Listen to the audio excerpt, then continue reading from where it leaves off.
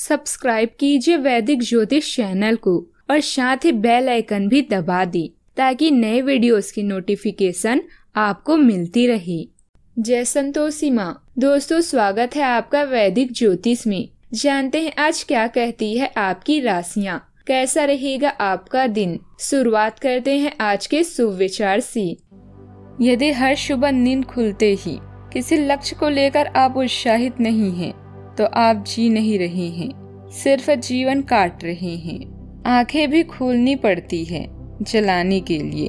केवल सूरज की किरणें से ही अंधेरा नहीं जाता। केवल सूरज के किरणों से ही अंधेरा नहीं जाता। जब दुनिया कहती है कि अब कुछ नहीं हो सकता, वही सही समय होता है कुछ कर दिखाने का। आज का पंचांग, एक मई 2022 दिन, रविवार। वैशाख मास के शुक्ल पक्ष की प्रतिपदा तिथि रात्रि तीन बजकर पच्चीस मिनट तक रहेगी। इसके उपरांत द्वितीय तिथि प्रारंभ हो जाएगी। भरणी नामक नक्षत्र रात्रि दस बजकर ग्यारह मिनट तक रहेगी। कृतिका नामक नक्षत्र प्रारंभ हो जाएगी।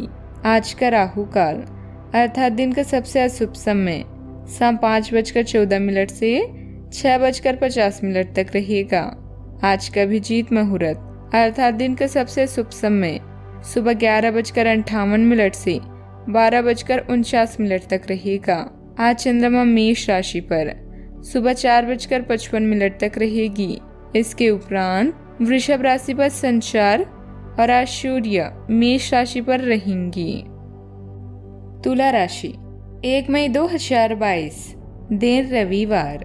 अपने प्रति ईमानदार रहें, क्योंकि इसी से आप हर एक स्थिति में खुश रह पाएँगे। केवल दूसरों की परवाह करने के लिए अपनी इच्छाओं का बलिदान ना करें। जो आपको भी अच्छा लगे वही करें। आपको यह सोचने में कुछ समस्या हो सकती है कि कहाँ से शुरू करूँ, इसीलिए सारे पहलू देखकर अपनी प्राथमिकताएँ तय कर लें। प्रकृति में समय बिताने से आप तनाव और नुकसान की भावनाओं से छुटकारा पा सकते हैं। अपने माता पिता और बच्चों की जरूरतों को पूरा करें। याद रखें परिवार सबसे पहले आता है और धन के मुद्दे इंतज़ार कर सकते हैं। अपने विचारों और प्रेम को करीबी लोगों के साथ शेयर करें। इस समय आप महीने के सबसे अच्छे दिनों का मज़ा ले रहे हैं। दोस्तों के साथ घूमें, पार्टी और मज़े करें। आज समझदार लोगों की बात सुनना ज़रूरी और आवश्यक ज्ञान प्राप्त करेगा।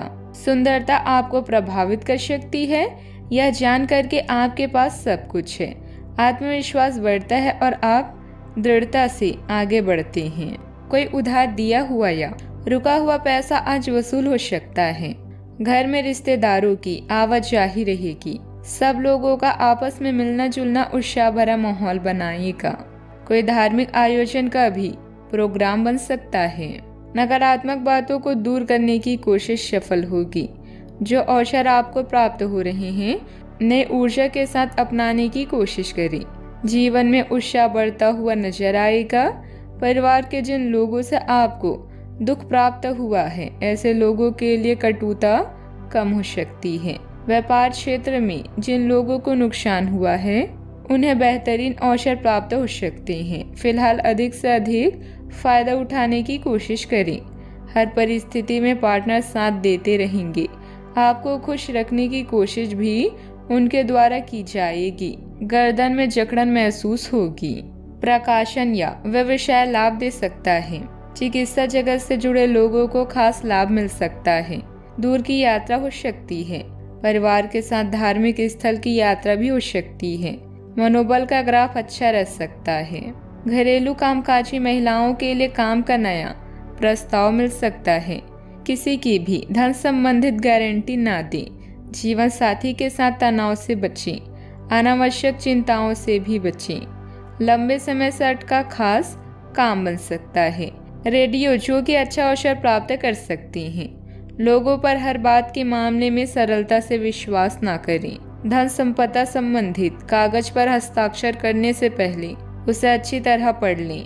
गरिष्ठ भोजन से बचें। खानदानी कारोबार नुकसान दे सकता है। निजी जीवन में कोई भी गलत कदम न उठाएँ। पुत्र से संबंधित खास बात हो सकती है। ब्लड प्रेशर के मामलों में लापरवाही न रखें। सावधानियाँ। घर के वरिष्ठ सदस्यों के मान सम्मान बनाए रखें। साथ ही यह भी ध्यान रखना ज़रूरी है कि घर की किसी समस्या को लेकर गुस्सा करने की बजाय आपस में मिलकर उसका निवारण करें, क्योंकि गुस्से की वजह से परिस्थितियाँ और अधिक बिगड़ सकती है। बात करते हैं लव लाइफ की। वैवाहिक संबंध मधुर रहेंगे। विवाहितर प्रेम संबंधों की वजह से घर की सुख शांति भंग हो सकती है। इसका ध्यान अवश्य रखें। जो किसी के साथ संबंध में है, उनके निजी जीवन में एक नया दौर आने वाला है। आप या तो शादी कर सकते हैं, या लिव इन में रहने की योजना बना सकते हैं।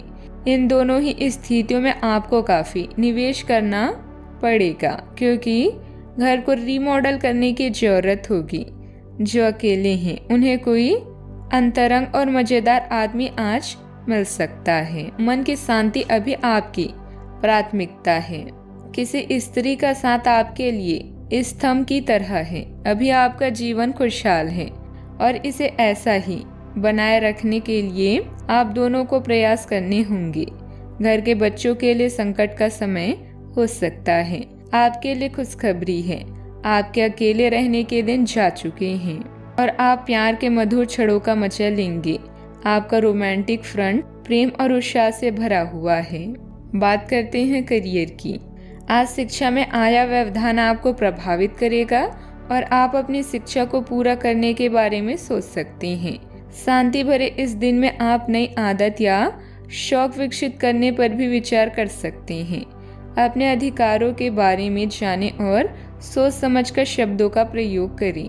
अब आप इस महीने के कुछ बेहतरीन दिनों का अनुभव करेंगे। दोस्तों, से मिलना और समय बिताना आपकी प्राथमिकता है।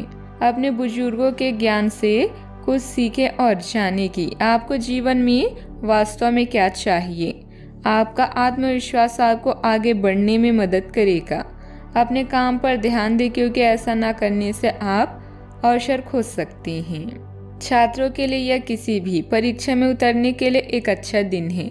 सफलता आपके साथ है। पेशवरों के लिए आपके कार्यस्थल पर एक सकारात्मक दिन होगा। लंबे मुद्दों का हल मिलेगा। अगर आपको लगता है कि वेतन वृद्धि के लिए आज के दिन उपयुक्त है तो अपने उच्च अधिकारियों से बात करने का दिन आज अच्छा है। अकाउंट से संबंधित पेपर वर्क करते समय बहुत अधिक सावधानी रखने की आवश्यकता है। आपकी जरा से लापरवाही बहुत बड़े नुकसान का कारण बन सकती है। ऑफ़िस में सहकर्मियों तथा अधिकारियों के साथ उचित तालमेल बनाकर रखें। बात करते हैं सेहत की। खान पान के प्रति लापरवाही होने से गैस या पेट संबंधित किसी प्रकार की दिक्कत रहेगी। इस मौसम में स्वास्थ्य का ध्यान रखना भी ज़रूरी है। आप आज ऊर्जा और ज़िंदा दिली से भरे हैं। आपको खुद का बेहतरीन तरीके से इलाज कराने के बारे में भी आज कोई काम की सूचना मिलेगी। पिछले काफ़ी समय से आपकी जिस बीमारी को पहचानना मुश्किल हो रहा था, उसे आसानी से पहचान कर उसका इलाज करवा पाएँगे। तो पूरे शरीर की मसाज कराएँ या अपने शरीर तथा दिमाग को भी राहत देने के लिए इस पा में समय बिताएँ। सेहत का पूरा ख्याल रखें। आज का उपाय। आज आप सूर्य देव को जल अर्पित करें शुभ रहेगा। जीवन में हमेशा सकारात्मक सोच के साथ आगे बढ़ते रहें। आपका दिन शुभ हो।